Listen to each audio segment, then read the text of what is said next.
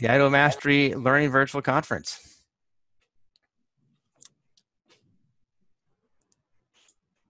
Welcome and thank you. Your patient support and dedication has inspired the work at the SDE. Uh, really, it has. Um, every day, I, I enjoy what I do and have a challenge, and I appreciate you uh, pushing and you supporting. And during the COVID time, hopefully you guys had a chance to uh, share a little bit about your, uh, we'll have a chance to share about your experiences. Um, I did a lot of thinking and in my wrapped up in my, in my little office next to the furnace at home. And I realized that mastery is a lot like riding a unicycle.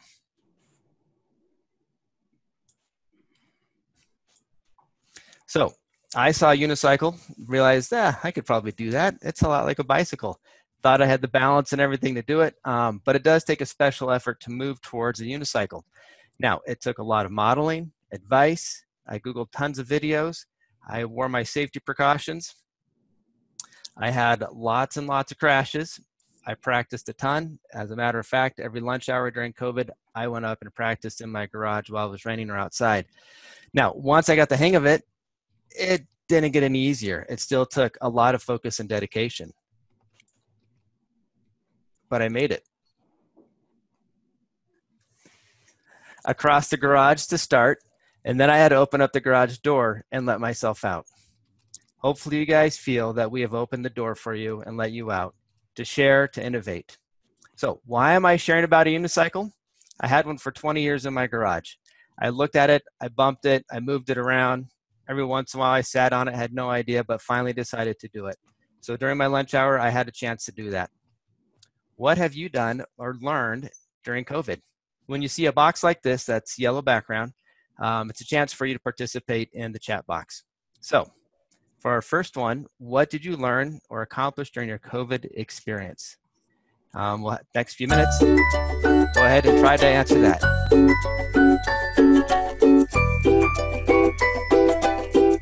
Thank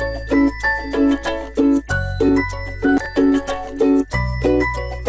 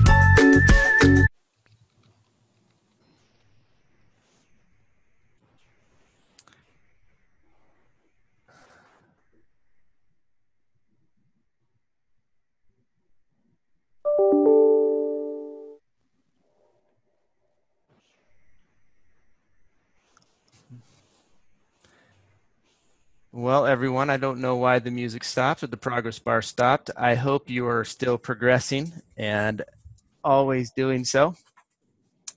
Um, thank you for filling in the chat box. I look forward to reading those a little bit later.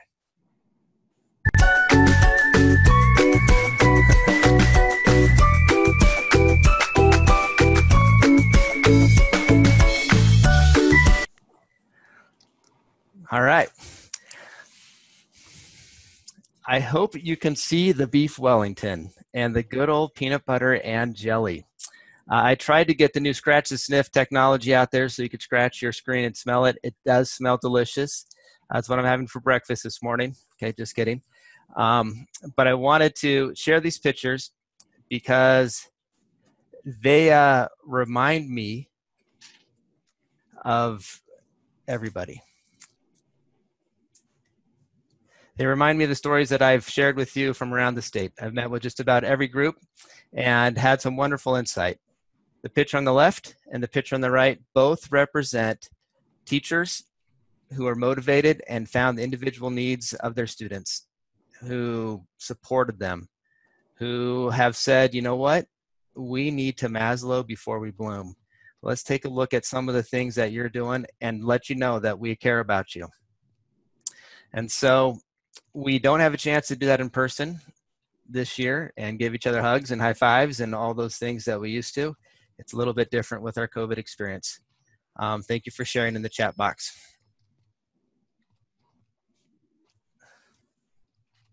In the, the next few minutes, I will take the opportunity to share what you have shared with me.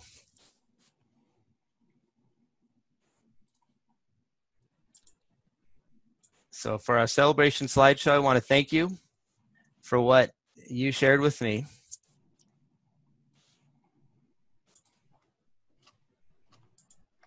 And recognize that uh, it took a little it took a little bit of leeway and freedom for me to take your words, which I didn't change, but put them into format that fit for consistency.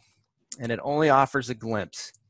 If we were doing this in person, we had a very large room assigned just for face-to-face meeting, greeting, networking. Today is just a glimpse. Perhaps you'll take notes. Maybe you'll find something that uh, will inspire you to to keep moving on. Uh, that will confirm what you have done. I'm sure you'll be impressed and inspired to continue to do more and reflect on what you do. So I'm going to stop sharing this screen and get to our slideshow.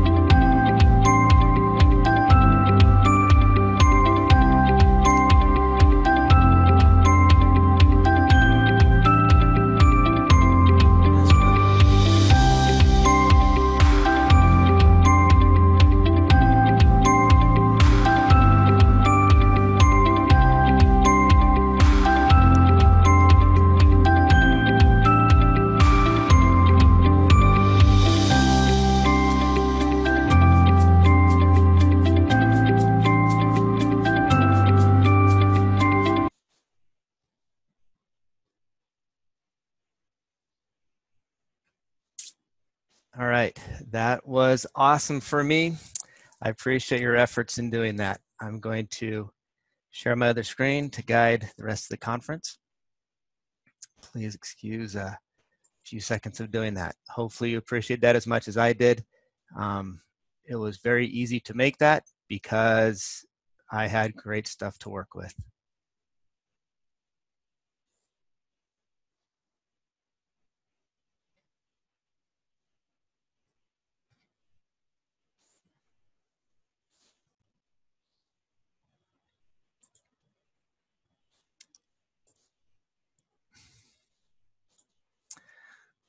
All right, we are just about on time with our schedule. I've met lots of neat people in this opportunity that I've had in, in working with Mastery and around the state. Um, one of those opportunities has been with people outside of the state um, who have helped us and, and give us a national perspective. And so I have met Virgil, and oh, I forgot to change it, Virgil. I apologize to uh, Mrs. Hammonds. Uh, it should be an S at the end. I thought I caught all the shortcomings. Uh, so it is Virgil Hammonds who will be sharing with us some some uh, uh, of his perspectives and his story. And so I'd like to welcome Virgil Hammonds. Um, I love the quote there. I believe it is our responsibility, and I think you can fit in there just about anything from our current um, society.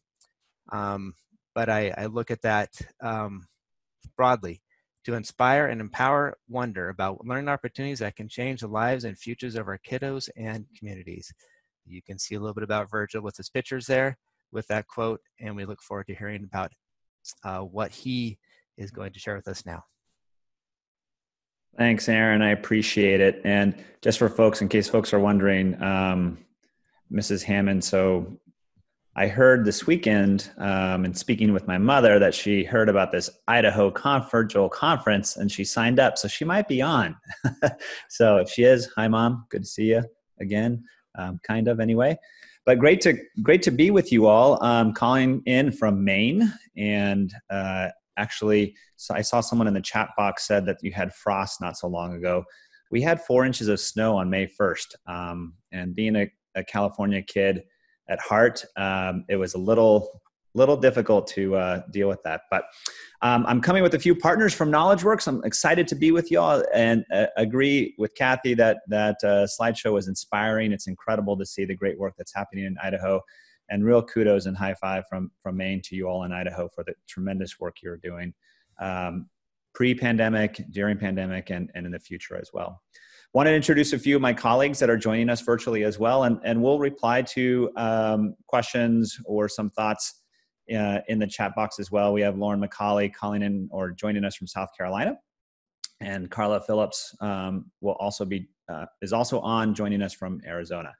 So we come from all over the country, eager and excited to learn with you all in Idaho. Um, but who am I and who is KnowledgeWorks? Just a little bit about us. Um, for us, we're like you all, um, firm believers in in what personalization and mastery can do for our learners and for our communities and ultimately for our society as well. Uh, for us, we have essentially three large facets of our work. Um, we have uh, a team that is focused on exploring the future of learning.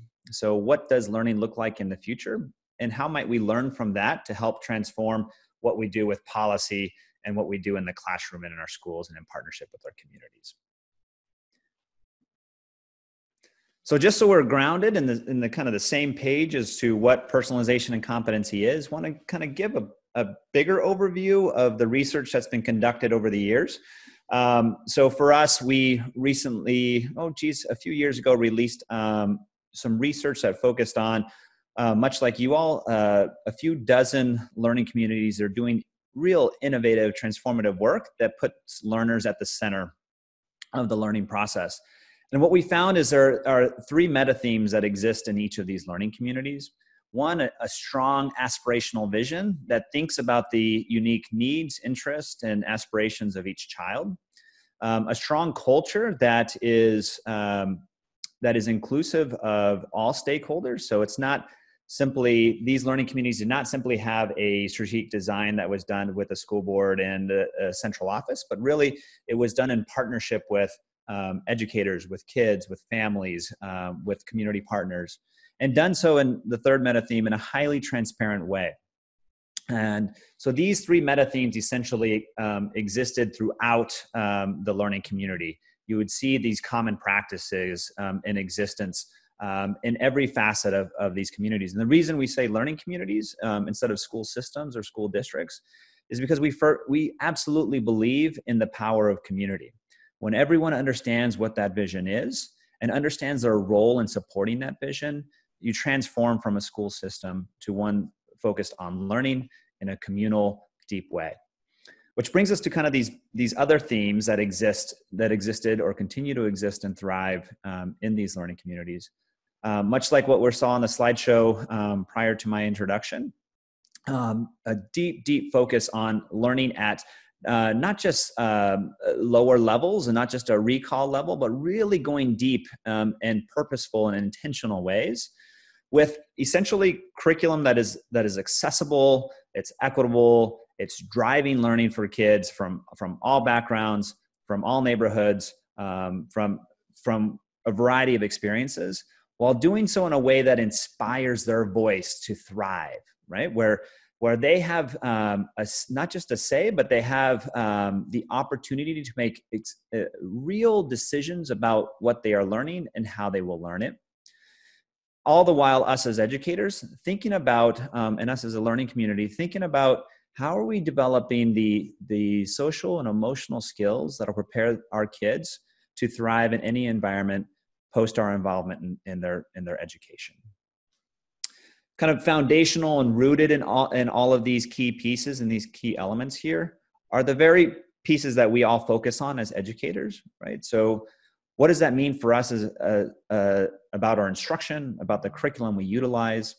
Um, how does that if we are going to do deeper learning in an equitable and essential way driving to to learner agency thinking about how we're developing these um, their skill sets how does that transform what we do about um, assessment um, how, does, how do we rethink um, what assessment and learning experiences could be um, the great folks at um, Redesign and the Center for Collaborative Ed are helping us to think about, geez, how might we um, how might we transform um, how we capture what students have learned and how they might demonstrate what they have learned, which really leads us to the learning environment and the types of supports we provide our kids. And if and if we're going to do this this personalization in a systemic communal way, how might we do that for our adult learners as well, our educators, um, our folks throughout the community? how might we replicate the same processes that we want to present and create for our kids um, for the adults throughout the community as well and in thinking about that um, how do we integrate um, partnerships to be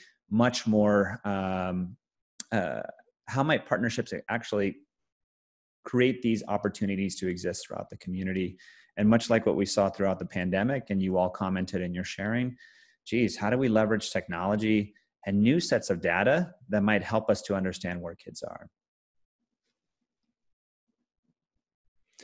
So, a couple, actually, last year, the Aurora Institute convened um, or has convened over the last couple of years a number of, of um, practitioners and other organizations to rethink what the definition of personalized competence based learning could be. And it went through a bit of an evolution. So I tried to highlight in blue just what that evolution was. And the big pieces that we've been discussing here imagine that the idea, um, going back to uh, myself as an educator um, in the classroom, I really did not do this exceptionally well. But imagine if we could um, inspire kids to make important decisions about what they're learning on a daily basis.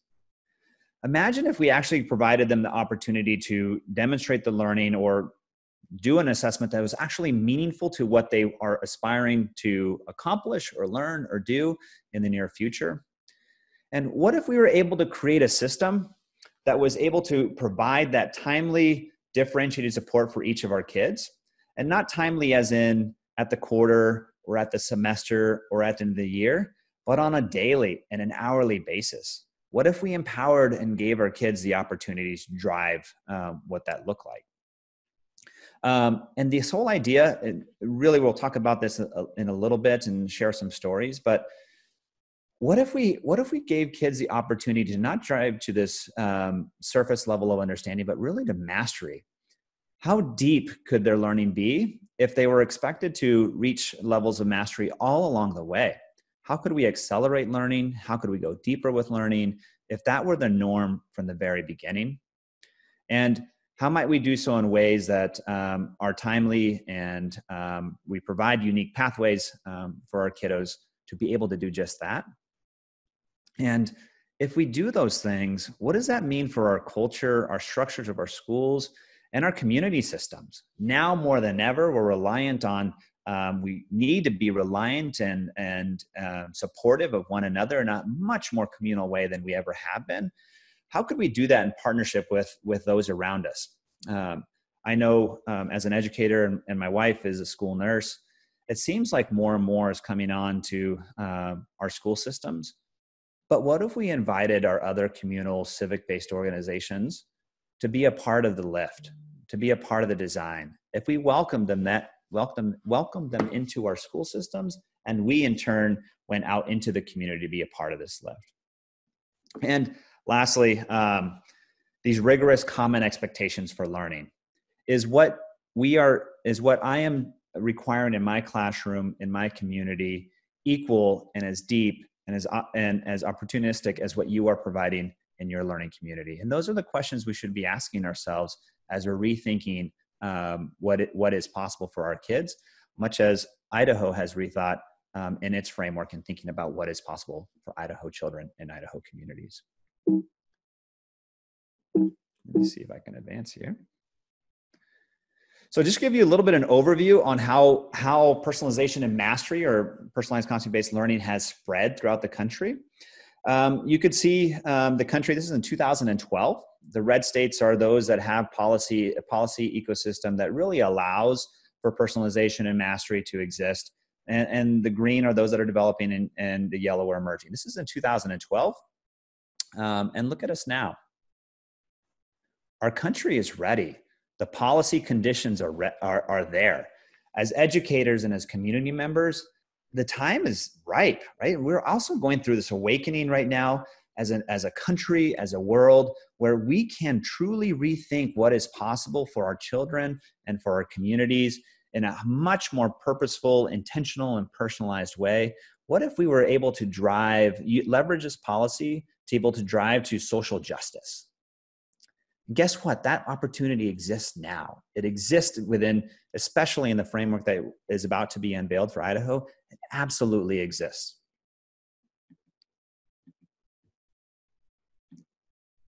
I'll start with a short video. How do I know? A lot of people, when they think of the phrase, how do I know, they always want to put the. And let me preface this. If you've seen this already, I'm just going to say this is one of those videos where it just never gets old. But I want you to kind of, as you're, as you're watching this video, think about yourself a bit. Start to think about um, what reflection comes to mind when you hear the message in this video. And we'll capture that in the chat in a bit. What behind it? How do I know what I'm supposed to do? The, the question that you really should ask is how do I know why I'm here? Because when you know your why, your what becomes more clear and more impactful if you know, like for instance, um, people know that I do comedy, but that's what I do. My why is to inspire people to walk in purpose. So I can do comedy, I can write books, I can be in a movie because all of it is motivated by my why. In fact, I have a new uh, a new web series out called Michael Jr. Break Time. Uh, we probably just did the sixth episode. It's on YouTube. So every single Wednesday at three o'clock, we drop a new episode on YouTube of Michael Jr. Break Time. What it is, is it's me. I travel around the country and I do stand up comedy, in case you didn't know. And in the middle of my comedy set, sometime I'll stop and just talk to my audience. And we've been filming this, and it's, you know, it's it's pretty cool. So we're in Winston Salem. I'm gonna show you a clip from Winston Salem, and I'm just talking to this guy in the audience, and he tells me that he's a uh, a musical instructor at a school. So I was like, all right, you're a musical instructor. You know, can you sing? Let me hear you sing a song. So this is what happened at the last episode of Michael Jr.'s Break Time. Check it. So you're a musical director. Cool. Yes, sir. All right, so um, let me get a couple. Let me get a couple bars of like a Amazing Grace. Can you do the first part of that? Let me go ahead. Amazing grace, how sweet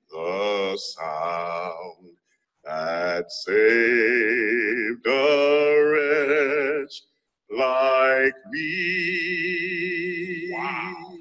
That bro could sing. You know what I'm saying? Now, what you give me the version is if uh, your uncle just got out of jail, you got shot in the back when you was a kid. I'm just saying, let me see the hood version real quick if you know which version I'm talking about. Just see if that exists. Let me see what you got.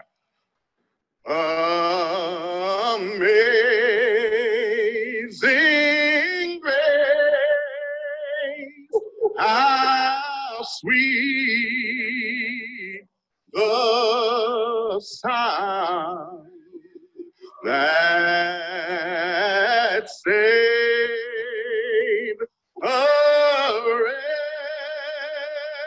like me.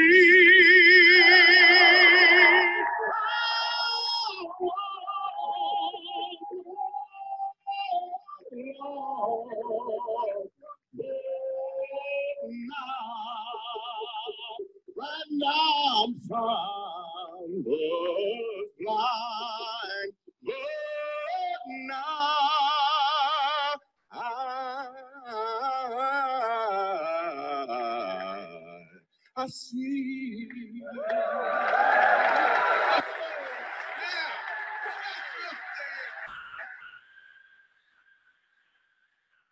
Okay. Um, here's what I want you to catch. The first time I asked him to sing, he knew what he was doing. The second time, he knew why he was doing it. When you know your why, your what becomes more impactful because you're walking towards or in your purpose.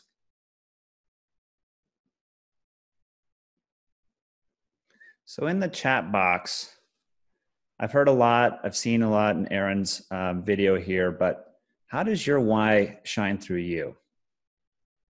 How is it that personalization and mastery helps your why shine through you and your kids?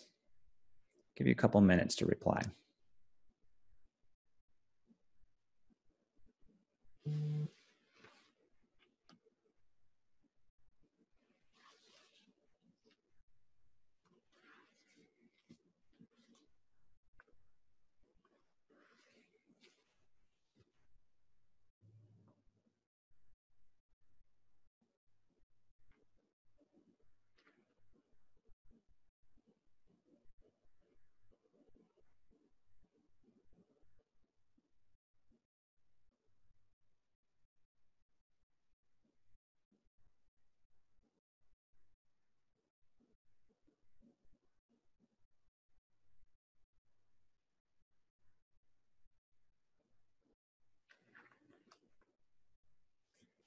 About another 30 seconds.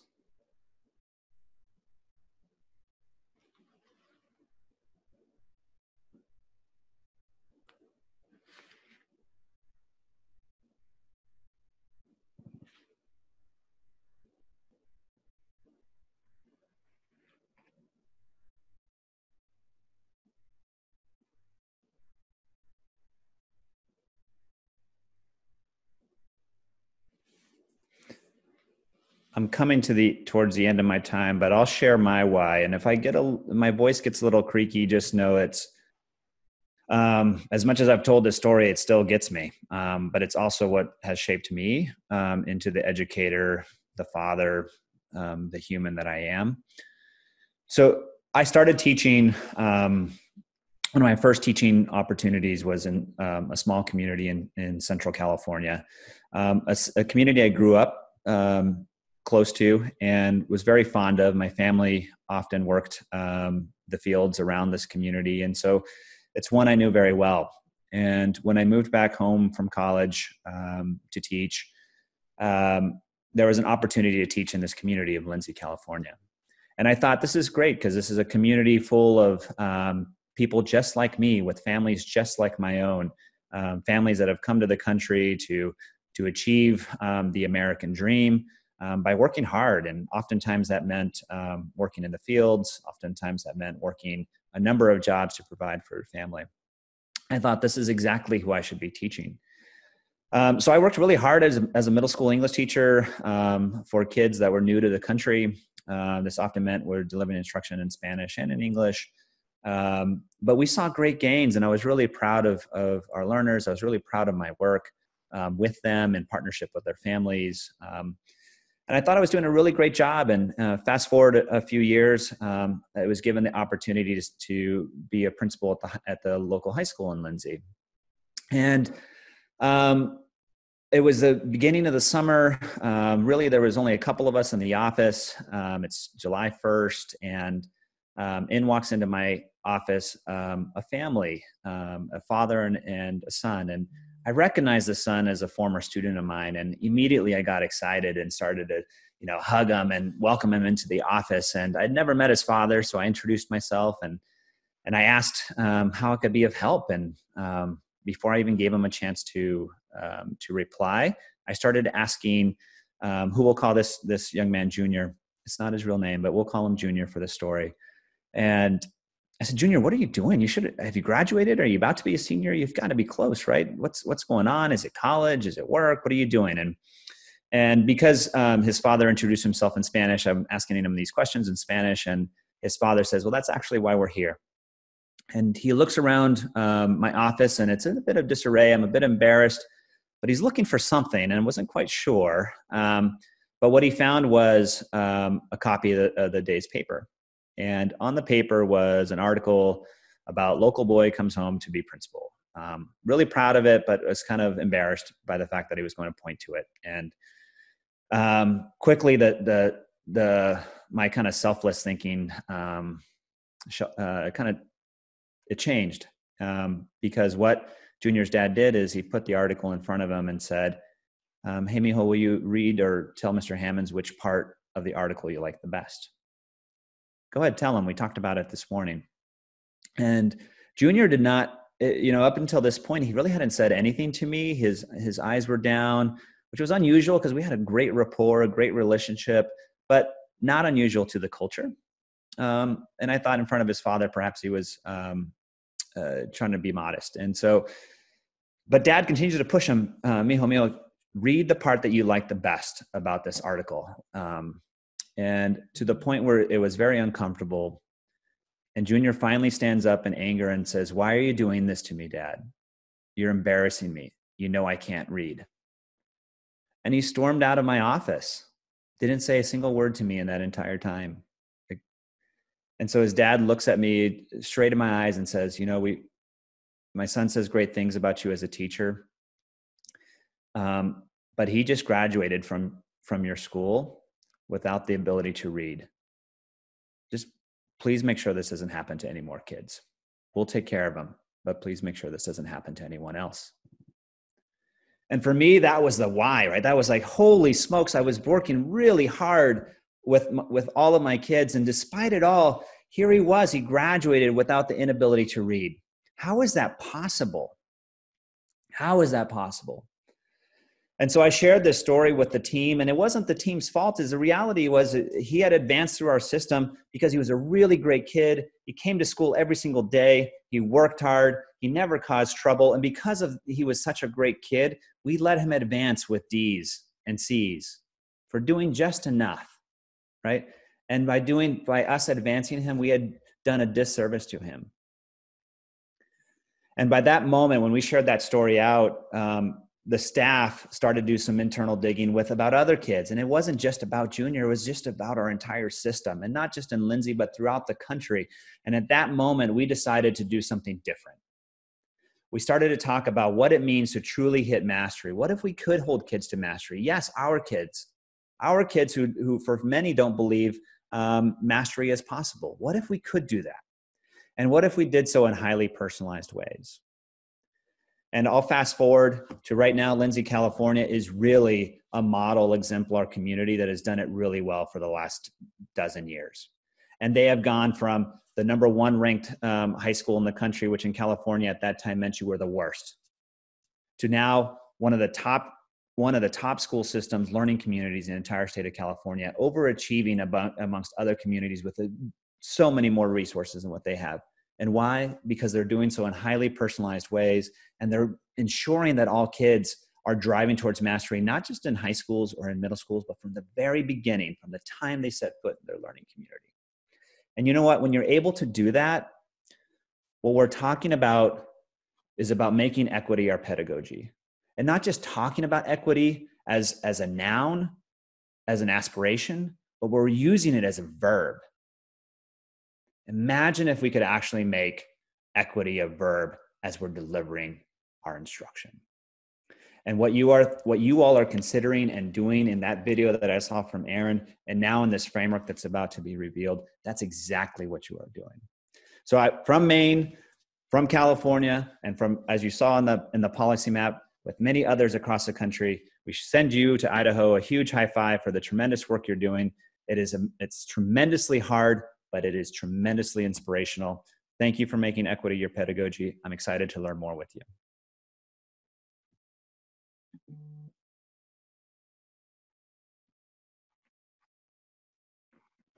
Aaron, I turn it back to you, sir. Thank you, Virgil. I I uh, I've I appreciate that in in many ways. Um, touched by your story, touched by the reality of it, um, and I think we all have uh, done a disservice to someone in the past. And so, looking to the future and realizing how we can improve is is a goal for all of us. Thank you for inspiring us and sharing those that national perspective. Um, as as we uh, move forward, um, I, I, think a word that that shows up to all of us now these days is equity, um, and we are fighting that in Idaho in all sorts of ways. And one of the ways we're fighting it is we don't have what we need all the time, and that includes resources uh, with family, resources with technology, resources personal, um, and all those things. So uh, the COVID experience turned out to be an amazing thing for some some learning communities. I'm going to add that to my vocabulary. I have a sticky on my wall for that. So thank you very much, Virgil, um, for that part of it personally. Um, so let's take a few minutes to reflect, please, in the chat box and consider how the transition to COVID and alternative learning went for your classroom, school, and district. Uh, I don't know what's going to happen for us in the fall. We may do some alternative learning there too. So, how can we take what we've learned looking at that equity lens for all our students, front page of the newspaper yesterday was how our 504 and IEP kids are, are not learning the way they need to. So how can we support their learning? Take a few minutes in the chat box, reflect on our practices for this past little bit of COVID and looking to the future and being inspired by the words of our friend Virgil.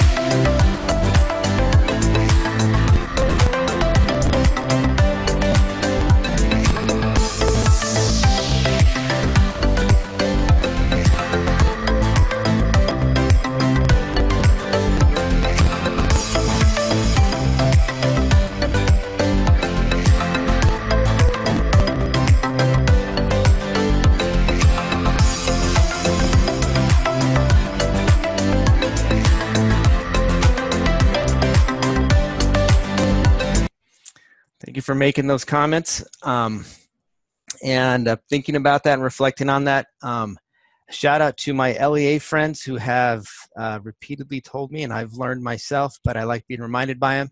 As I'm reminded by you guys and, and helping my life improve, a narrative is a great way to share a story, a powerful way to do so. Um, so hopefully you took a chance to to share a narrative a little bit about what happened with you, your family. I saw a few of those comments and chats about your personal stories with students who have moved on. Thank you for sharing, Virgil. Your own personal family that have had experiences um, with with all these different things. So I appreciate that and look forward to reading them in a little more detail. Um, I do need to apologize. I missed three schools. I've looked and looked and looked over these decks, um, but Rocky Mountain uh, in Bonneville uh, School District, Salmon River um, in the Salmon River District, I guess, and Tigert over in Soda Springs were missed on the um, slideshow. So I have their information here, not the cool background slide, but I want to share. This is from Rocky Mountain Middle School, some of their pictures. And if I can get the information from Tigert, I will add it. Thank you. I'm sorry about that. I apologize.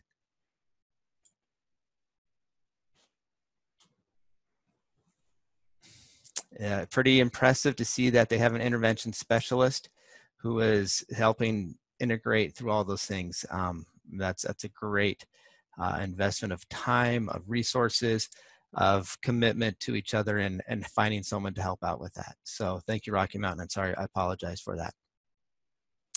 Um, those of you who know me know that I, I like action. I'm not a huge talker. Uh, I'd rather keep things simple and go out and play a little frisbee or ride my bike or something like that. So I have to find ways to keep myself accountable. Um, we met with um, the superintendent lots of times over these over these things, and with our legislator friends this year, preparing to meet with them and reviewing. Uh, in reviewing what we had to do, we found inspiration, we found motivation, we found accountability. So with Karla Phillips from KnowledgeWorks, um, we spent a lot of time looking and and realized that we have some stuff we need to take care of, and so that is called um, something statute 33 1632 i can't remember all the time i remember those numbers pretty well so this is what we've been asked to do um, advise superintendent of public instruction that's superintendent Ybarra and the State Board of Education. They live upstairs from us in the progress of the transition to mastery based education. I hope they're watching the video. I hope they're hearing your words. I want to share it out, and I have lots of ways to do that. I'm excited to share, uh, to learn from you, and to, to unveil the things we have today. Develop evidence based recommendations for continued implementation. The evidence we saw today from Virgil across America that counts. We are can continue to this. It's a national trend. Student-centered learning helps students in so many ways, in so many places. We need to continue to implement the policies of the legislature and the State Board of Education for the transition to mastery-based education. We spent a lot of time figuring out what that means. And I'm excited to say that our framework does implement the policies of legislature. The network that you guys have been a part of for the IMEN has been amazing. We have had amazing professional development in the past and we'll have continued professional development in the future, including from you guys, I hope. Coaching and best practices is coming. We know those things. We've seen them, we've learned from you. The opportunity to learn from IMEN over the last few years has exposed hurdles, but not just hurdles, but opportunities to overcome them. And that's for all our Idaho school districts, charter schools, and like I said before, adding to my vocabulary, learning communities. The last one there, sustainability plan. What does that mean? We have some ideas. It's exciting to share today what that means. But also, you guys need to have a sustainability plan. Um, in talking to you, I've heard and seen what you have and hope that you recognize you have those in place to say next year we want to do this. We have this. We learned this. Those are sustainability plans. Um, that rubric, those that you're checking to see how you're measuring those assessments they're using to determine what's working on uh, working for you we hope to hear those ideas in the next application process so uh, my friend carla speaks in front of legislators all the time and she does a wonderful job i hope i've met a little bit of what you charge me with carla in recognizing our formal accountability so this is what we have in delivery We have a framework, elegant and simple, a place to hang everything that you're doing. We'll unveil that today. It's pretty impressive. I hope to hear from your comments today if it's a if it's a document that you would share with your school board and with your parents and with your peers and with your students that you can find yourself and your practices in it. The staging guide is a beautiful wrap up burrito blanket of smoothness and amazing opportunity to learn from you. It is everything that you've done almost um, that we can share out in an interactive way that will be available to everybody soon.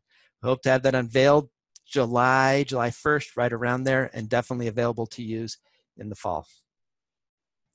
The IDO competencies. If we're looking at competency-based education, proficiency-based education, mastery-based, student-centered learning, all sorts of terms, we have to have those competencies. We have created, identified, recognized support skills to support, uh, sub-skills to support the student excuse me, the State Board of Education approved competencies and making that alignment in cooperation with them. I've talked to all the sites across the state, except for a few with the same prompts, so that we can network, so that I can be a matchmaker, so that I can see these things and say, it's not me, it's all of us, and make a searchable database so you can see what's going on across the state. Hope to have that available for us in the fall. The sustainability plan is comprehensive. It's coming, it's on its way, as is an evaluation plan. What does that mean for you? We're talking about that. We're also looking from the state level. And we'll have assessments and exemplars for that opportunity. So, scaffolding, allowing, encouraging, building, developing, tossing all sorts of vocabulary and verbs there to make it sound exciting because it is. Um, we will send out the next day or two links to all these documents and would love to capture your comment and feedback. All right, before the superintendent comes on, we have a few minutes. Um, I talked, a lot of you shared your wonderful training this year. Um, and I've heard about what you will want to do, becoming Imagineers with education, uh, learning about different ways to present through workshops um, that you've learned and stuff. Thinking about that, what training would you appreciate further? You've seen other schools, you've heard from Virgil. Um, what would you like to become better at? And so, what we're doing right now is we're creating our sustainability plan. What can we do to improve in Idaho? So, in the chat box, please take a few minutes to uh, understand and reflect what you've done this year and appreciate where you would like to go. And we will record these things, and that will be part of our sustainability plan. Thank you. Take a few minutes to do that. thank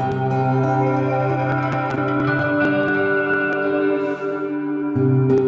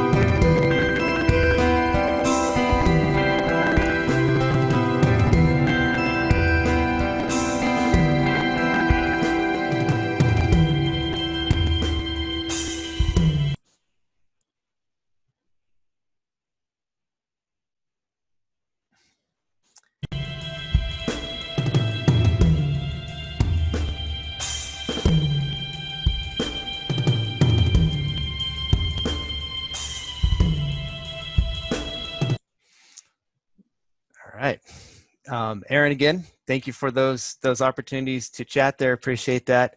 Um, I figured out how and why things stop a little bit. It's it's different with each slideshow. It's been interesting.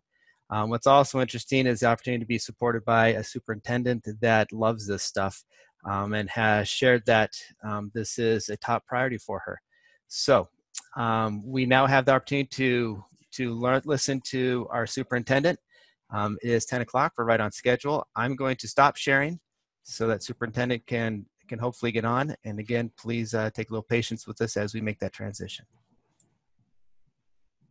Good morning, everybody, and good morning, Erin. Thank you so much for that introduction. I really appreciate you telling everybody how excited I am about this work. You know, as a former teacher, uh, it's just really hard for me to kind of step out of that role. So I just really appreciate you driving home that message, Erin. Um, I, I am just really happy that I could be with everybody for a few minutes on Zoom this morning. Of course, we would all rather be together in person, and I hope that that happens very soon. But I'm just thrilled uh, that we can all be together to do this work, however we need to do it. I want you to know how much I appreciate um, each of you for continuing the important work of expanding on mastery-based education in Idaho uh, and for participating again in a virtual convening. We all know that the COVID-19 pandemic is having far-reaching effects in almost all aspects of our life. The impact on education has been significant and has presented both challenges and opportunities. And I want to take this opportunity um, every time I get to thank you for the amazing job that you have done during the school closures. You truly showed how versatile uh, and innovative that Idaho educators are, and I get an opportunity to talk all about that this afternoon on Facebook as well. So just heartfelt thank you, let you know how grateful I am to make sure uh, that life went on for kids and they kept learning. For this group specifically, uh, what our schools and students experienced in the spring demonstrated mastery-based education is more important than ever. You and others who have adopted the practices of personalized learning have an advantage in being able to respond uh, to the unexpected interruptions of traditional teaching and learning. Your students know how to take ownership of their learning and seek out the help that they need to accomplish what it is that they need to do. As we look ahead to the fall and beyond, our ability to be nimble, whether that's moving from in person teaching to distance learning or to a blended model with a little bit of both, uh, this is a real opportunity, like I've told everyone around the state, to reimagine education. A learning culture that empowers students, coupled with instruction that pers personalizes learning and allows our students to demonstrate competencies, will lead to success for students in any situation. I'm so excited about what you're going to be hearing today, which is the result of all of your hard work over the past four years. So in a few minutes, Todd and Aaron will unveil the new Idaho Mastery Framework, which should not be a surprise because it provides the foundation of our mastery work in Idaho and will inform the three Ps we call it, the parents, the policymakers, and the practitioners and the principals about this important work. I want to thank you for your contributions for getting us here again. It should not be a surprise as you were part of all of this. It's based on your experiences, your feedback, your collaboration, and I can't wait until this framework is shared with everyone to celebrate all of your hard work and accomplishments. You'll also today be discussing the staging guide, which is another important resource and a valuable tool that includes all of your incubation efforts and your innovative efforts over the past five years the guide will support others in making the transition to mastery learning no matter where they are at in this process. Those of you that have been with us as part of the cohort one, I thank you for taking the risk in the beginning. I remember all of those conversations uh, and how scary that was. Um, so thank you for um, making sure that students had what they need and you were part of reinventing education. I think it's important, like I said earlier, now more than ever, especially with COVID-19, to have every trick available and every opportunity available so that life goes on for kids. And for those that joined us in later stages of the journey, thank you for bringing new ideas and your new energy into this effort. You've all made the idea of mastery education happen in classrooms across the state and it is making a difference for our students. And the goal that you and I all share today is for Idaho students is so that they persevere in life and are ready uh, for college and careers. In 2017, the state adopted our college and career readiness competencies, aligning the work of mastery based education uh, to these competencies will be the next critical step to ensure our students are prepared for their chosen path after high school. Uh, again, thank you for taking on this important work, and I want to take this opportunity to let you all know that despite the economic challenges that we're facing as a result of COVID 19, the budget holdbacks for education um, have been difficult, but the funding for mastery based education has not been cut. And I will continue to advocate for ongoing funding to expand participation in the Mastery Network uh, so that others can join us. Uh, see Aaron over there just as excited, jumping up and down. So, um, you know, that was really uh, something that the staff worked very hard on making sure uh, we had a lot of conversations around the support for mastery education. So, uh, I also ask that you share your experiences around mastery education with your local legislators and your community members. Share how important this small investment has been in supporting your planning and coordination efforts as we look uh, to moving Idaho forward to a mastery model. The unprecedented challenges and changes that we've experienced as families, as schools, and communities, and just as ourselves has shown us how innovation and how innovative and resilient uh, that we all are. And I thank you from the bottom of my heart for a commitment to your students. Uh, again, I, I just want to impress upon you that um, COVID 19 is really an opportunity to highlight mastery education, to really push us forward, to do great things for kids, and you're at the helm of this. Uh, so it's just an exciting opportunity to have a few minutes to talk to you about the importance uh, now more than ever of mastery based education and the work that you're doing. So, in closing, I want to quote John Dewey, uh, who said, If we teach today's students as we taught yesterday's, we rob them of tomorrow. You are preparing Idaho's students for tomorrow. Enjoy the rest of your time together. I look forward to seeing you all very soon, and congratulations on all of your hard work. So proud of you and can't wait uh, to tell the state what wonderful work that you're doing. Thank you.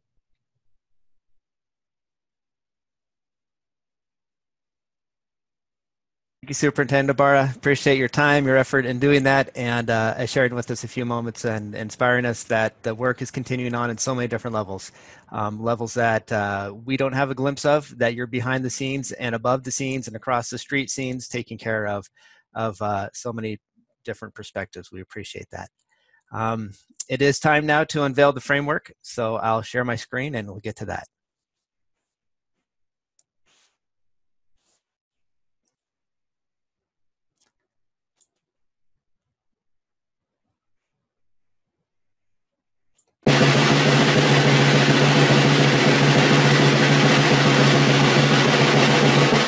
Ta-da! All right. It only took months and months of looking to find this. Karla and I looked and looked. We realized as we looked what the, the state has done across the nation, trying to find trends, that we have powerfully built into our statute right in front of us what we need to create a framework. So, the purpose of the framework is to guide all things mastery we wanted to keep it elegant and simple, but comprehensive. Um, it was not an easy process. Uh, Todd Driver and I, the director of content and curriculum, looked at these things with a hard eye. We felt uncomfortable giving feedback because it was something that we felt we needed to, but it was unpleasant to do so. Our our folks who have responded, Lori and, um, and Sydney at Redesign, have have helped us with so many ways. Karla, and her team and saying and doing things that we that are tough. So we are very very excited to talk about it. And it does meet two perspectives I want you to consider as we look at this. The public, policy, and the parents.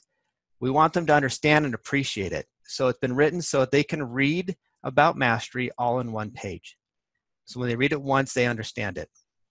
and hopefully appreciate it. And they want their students to be a part of it. And they want to call their teachers and they want to call their local educational communities, communities and say, what does this mean in our school? Because I know what it means to me and share those things. As practitioners and principals, we want you to look and say, this is what I'm doing in my classroom already. To find those touchstones. I see in the chats that, hey, we're doing this stuff. Excellent. We want you to shake your head and go, yeah, yeah, and, not, and nail it down and say, this is explicitly what we do. And we want to grow explicitly in this area. So how can we support you do that in doing that through the grants financially so that you can make those grow things and share that within your local learning communities. So as principals and practitioners, take a look to see if it hits what you're doing and guide your works to be as innovative as you need to be. It's funded, founded in statute, informs all the P's, and is the foundation of mastery work in Idaho. So it's all in one page. The next couple slides will be the entirety of the framework.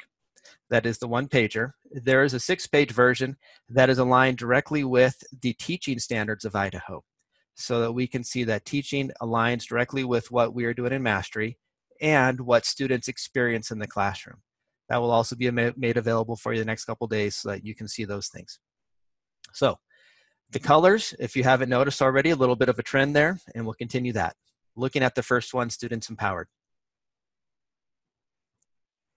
The left-hand side shows what it'll look like all in one page. On the right-hand side, students empowered. The transparency and mastery-based learning system encourages students to play a greater role and invest more in their educational success. With the support of teachers, students take productive risks to learn and demonstrate the competencies as the focus shifts to learning rather than earning a grade. They make important decisions about their learning pathways, providing insight on projects, activities, and the individual support needed to reach their potential. Self reflection and self assessment, along with goal setting and progress monitoring, become regular habits. Through meaningful collaboration and routine teacher and, pe- and peer feedback, learners support one another in their academic growth.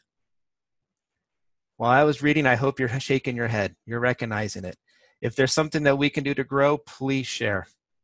Um, everything I do is informed by someone else, and everything I do in the future will be informed by the comments I receive at that current time and things that I'll share and and uh, and expose myself so that we can grow from it. I, I honor and respect open feedback and collaboration in these efforts. So if you see things here that we can improve on, please help us out. As we time this out, we're just going to go through the next one and just read it together and give you the time in the next couple days to share feedback and any extra insight then hopefully print off and share with your uh, board, your principals, your peers, your parents, all those stakeholders. Learning personalized. Mastery Learning provides a foundation for personalized learning through flexible pacing and delivery of common expectations and performance based assessments. Students receive timely, differentiated supports based on individual academic strengths and needs, and the opportunity to share their understanding in multiple ways. Learning experiences offer opportunities to collaborate meaningful ways by leveraging student interests and connections to their community. Personalized learning, driven by meaningful interactions with teachers and peers, results in higher levels of student engagement and agency. I can't help but think of what I did in my career um, and my students and tagging like you did, um, Virgil, a student, the one that this matches, the kid, Mikey, Johnny, Billy, Susie, you know, those kids that pop up in my brain when I think of my career. Um, did I allow these things to happen? What can I do to make sure it does happen? And that personalized learning. Competencies demonstrated. We really tightened this up and went in alignment with the college and career readiness competencies, which were adopted by the State Board of Education. They provide the foundation for the Idaho Mastery Learning Framework. Competencies represent the knowledge, skills, and personal attributes that lead to success. Mastery learning environments focus on competencies through rigorous real world applications that prepare students for diverse post secondary pathways. Competencies make learning equitable and transparent through explicit, measurable, and transferable learning objectives. Um, it took me a long time to understand what competencies were. This definition in the middle there competencies represent knowledge, skills, and personal attributes that lead to success was created by so many inputs, so many websites, so many hard discussions where people pushed to know what that meant. Hopefully, we can grow with this experience and take a look at how we're addressing these things that sometimes um, are beyond our classroom and we want our students to walk away with. Mastery recognized. Coupled with flexibility in pace and delivery, mastery learning is grounded in the idea that students progress when they demonstrate mastery of key content and skills, regardless of the time spent in class or where instruction takes place. Students also have opportunities to demonstrate mastery in multiple formats. Mastery learning systems ensure learners have equitable access to supports that promptly identify and address learner needs so they can move at their optimal pace through and into new learning experiences. Again, um, this is not a perfect format for us to share all things, but what this is is a chance to learn together and then comment in the chat box. And so you've learned a lot today. You've seen your peers. You've been inspired by, by Virgil and his story, and you have your own stories that inspire you daily. You had a chance to talk about what training you would like. Now, here's the chance to interlock the opportunity with what you want to do with what you can do and to build our sustainability plan. And so on this screen, we have a chance to respond in the chat box again. Take a few minutes to deliberate that.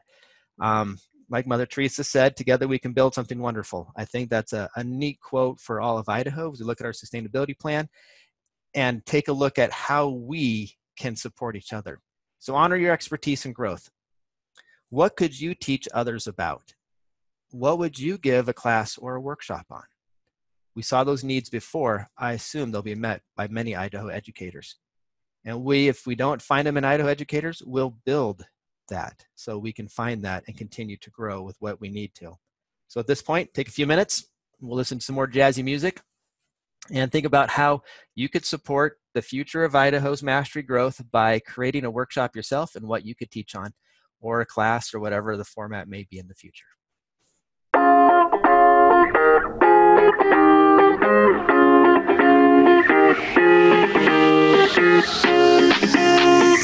I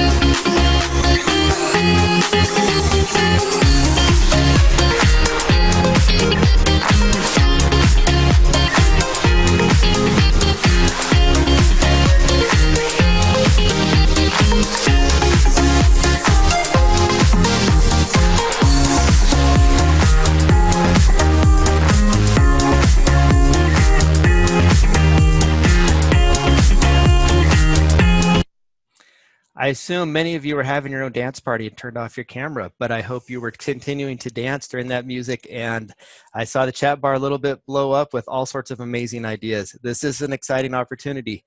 So I am one dancing just because it's exciting for me, and two because of that jazzy music. Um, moving forward just a little bit, we need to take care of a few things as we get closer to wrapping up. The staging guide. Like we said, it's a wonderful idea what I saw when I first when I first saw the staging guide from from years past I was confusing at first. Saw this wonderful idea develop from it, and we have taken it and made it into something that is going to be interactive, that collection shares all the resources from IMEN. So it'll be usable for every stage of implementation. Now, it's based on the framework. It summarizes and makes visible nearly all the incubation innovative efforts of the IMEN. It's designed to support our learning communities in any stage of transition to student-centered learning, comprehensive, interactive, access to dozens, dozens of resources that support any level of implementation.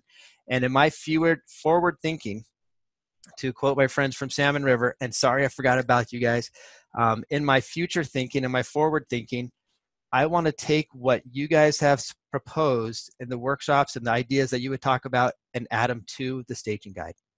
We would make it a resource that anybody could access through the valued uh, strengths that we have as, as Idaho and as educators to make this and continue to grow our staging guide, which becomes then our sustainability plan as we grow ourselves.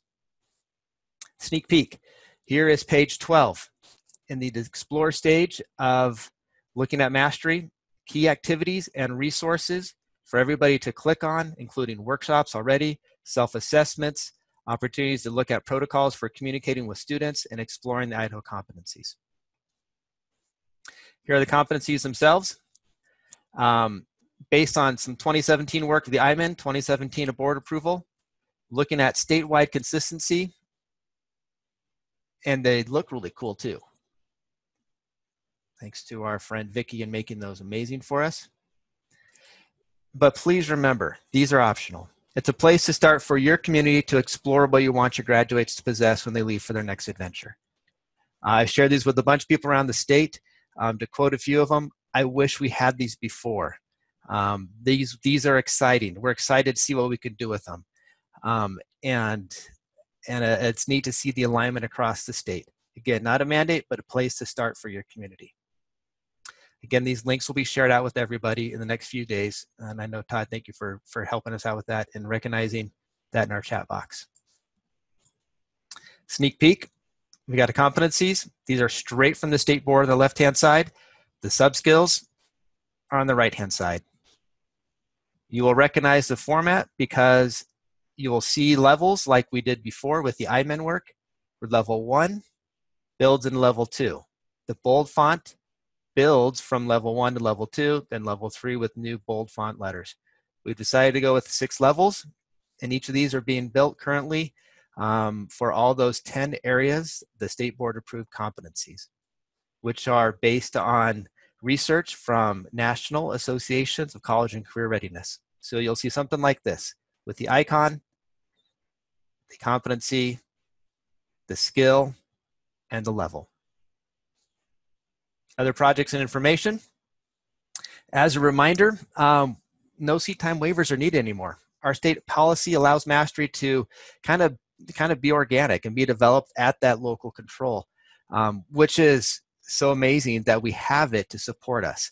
So, where are you going to go with that? Talking to your school boards, recognizing that students can achieve credits by demonstrating mastery, um, communicating with them and saying, we need to have this as a system to allow this to happen because our students are different from each other. Our students are learning individually, and we need to support them in their growth in ways that will allow them to reach their full potential, and that is individually, that's student centered.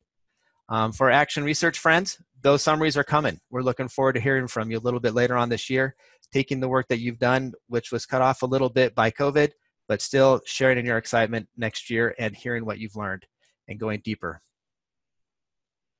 Whoa. Um, I'm sorry about that. It says Guide to Determining Mastery. Sorry about that overlap. Um, when uh, we ask districts to communicate, it's very unfair for districts to do so without guidance. So we will make sure that guidance is there for you. Again, a framework of scaffolding to say, hey, local control, we need to develop what mastery looks like. Here's an example for you to start with again. So we'll have assessments, exemplars, statute type written stuff. So it'll look formal and official um, so that you can say, this is what the state has given us to start with so that we can move forward with these conversations regarding statute. Look forward to that support and giving you the opportunity to build on that. And again, that's coming. Communication plan. Our goal Clarity, simple yet comprehensive, which we have termed as elegant.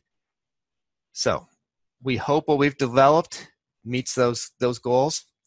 And for the future, we look forward to weekly, bi-weekly virtual opportunities for professional net, uh, development, networking, taking the workshops you have and giving you time to do so, to give them, and paying you to do that. Um, we'll have monthly newsletters that talk about the action research, the celebrations that we caught, caught a glimpse of today in SDE efforts. We'll also have regional conferences, professional development and networking, and two annual conferences as things allow, of course. All right, grants application, funding. We have the funding, like Superintendent Ybarra mentioned. It's an exciting thing. But please take care of the grant money. There was a lot of money outstanding allocated to you that needs to be spent. If you need help with that, please contact me. There are seven categories to spend that, um, to utilize that, to, to see how it can be used. Um, and I've heard some amazing stories of how it was used in the past. I will share out a sample budget in the next few weeks um, as we look forward to the application process, which is being developed and will be coming out soon. June 22nd is our last day to submit for this year. And we hope that we will have our application ready by then so you can get money and have stuff for this fall. Sorry, things were just delayed. We know how it goes. Um, craziness of the times. So, application process still in development, but it will be found in the framework. Those four areas where do you see yourself? Where do you want to go? Create a budget narrative that allows you to get there. A few changes and a few shifts, but basically still based in statute and, and a narrative that explains and we'll communicate more about those things and make sure we get our office managers and financial officers involved. All right. I believe, I, I can't tell who this is because it didn't transfer over. I believe this is Salmon River. So sorry, guys. yes, there it is. Some of their highlights. Their culture of revision, highlight that. If you don't have that at your school, call them up. They do an amazing job um, and their creativity through project-based learning. So exciting to talk to them. They've got an amazing team up there, like so many teams across the state. Uh, I learned so much, and we want to make this available to everybody. So again, I'll share this the next few days. Um, in conclusion, I want to thank you and tell a story, a real quick story. We have a new puppy and a dog who loves me. Um, but I walked in the other day and they came running in, but didn't know I was there. So I walked in the door before them, they didn't see me, and they went past me. Um, they didn't see me at all. Um, but then I said, "Hey guys, I'm over here." They turned around and wagged their tails, and we had you know a face-looking little celebration. Um, I want to celebrate with you a little bit, not so much like a puppy, but just to recognize when I see you, I'm excited. When I talk about these things, I'm excited. Uh, this is something that I love doing every day. And I'm inspired by what you do, by what Karla does, by what Lori does, and by what our team here at the SDE does, and how we can move forward with the future. It's almost exactly our time to be done. So thank you for an hour and a half of your time. Please, uh, again, make any comments in the chat box. We'll collect those things. It has been recorded. We'll save this as we can and move forward with that and share out links to all these things and expect those comments back and, and further insight from you as we grow mastery across Idaho.